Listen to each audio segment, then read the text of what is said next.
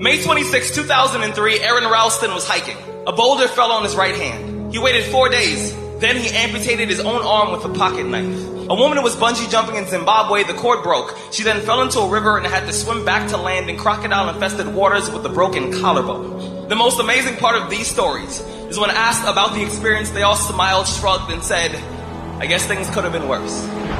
When your day is a museum of disappointments hanging from events that were outside of your control.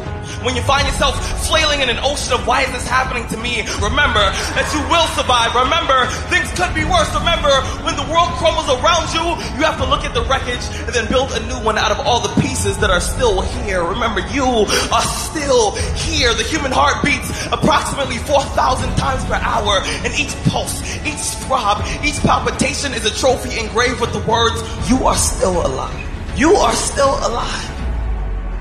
Act like it.